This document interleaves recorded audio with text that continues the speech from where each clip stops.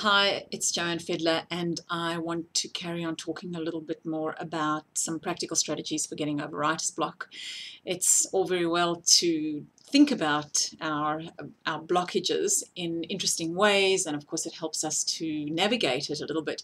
But sometimes, what we just need are some practical strategies. So, here are a couple of strategies that I use when I feel stuck and I can't seem to get any movement going in my writing there are two approaches to, to writer's block in, in terms of what you could do with it.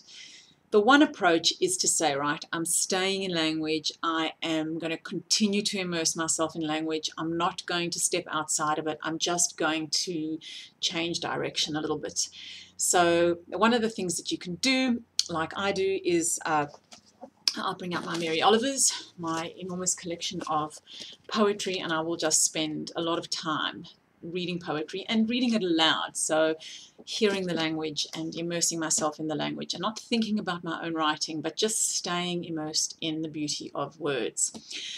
Another way of doing that, not quite the Mary Oliver approach, but is to take out your Dr. Seuss and again to just read aloud, to read yourself a Dr. Seuss story aloud and just allow yourself the joy of having those words on your tongue surrounding you, the music of it, and staying in language. And it's fun and playful, and also that helps us loosen some of that seriousness that we sometimes feel when we're stuck in our own writing and taking ourselves too seriously. The other thing you could do is you could read about writer's block, and this is probably one of the best books that I know on writer's block by Steven Pressfield. It's called The War of Art, and that will help you to think about the issues that arise when we are dealing with writer's block.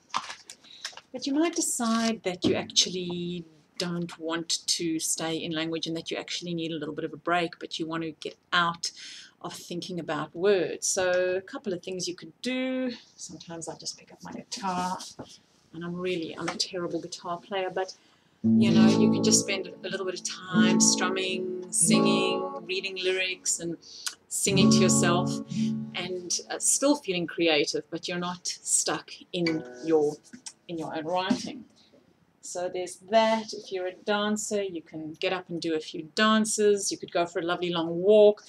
The other thing you could do is you can do like what I do is I create dream boards uh, sometimes, which is just taking magazines and cutting out images and creating collages, which I then put up above my writing desk. And that helps stimulate some of the language uh, and words can sometimes come back to you when you're stimulating some of your other senses.